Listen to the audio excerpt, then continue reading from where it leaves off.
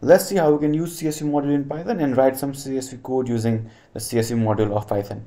So first of all, let me make clear that you do not you do not need to explicitly download the CSV module in Python because it is included with the default Python package. So let's see how we can write some code using CSV. First, I'll create a new folder for my project called CSV project. And let's go inside this folder and let's create a new file to create our Python code. So I'll create a new text document. I'll call it main.py. And let's write some code in it.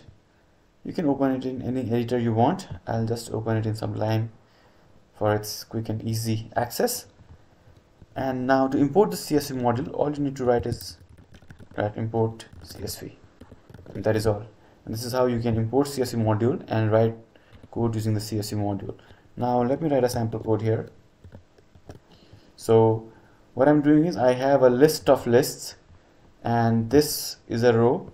So this will be used as a header row. This will be second row and so on.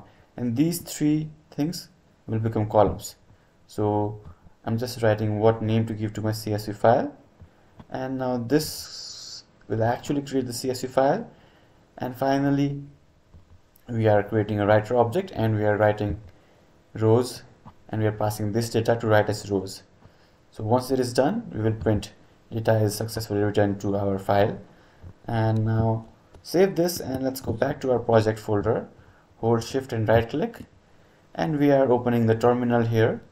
You can open command prompt and go to this directory.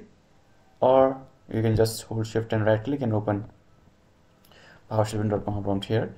If you are in Linux or Mac OS you can just open your terminal and go to your project directory now let's try to run this using python main.py and as you can see our printed message is successfully returned here. That means the CSV is printed.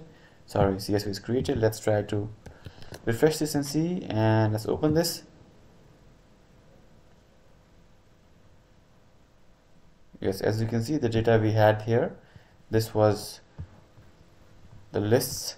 List 1 list 2 list 3 and list 4 so these are written as data in the CSV this is how you can do it and this is how you can use CSV module. In Python if you have any questions let me know in the comments below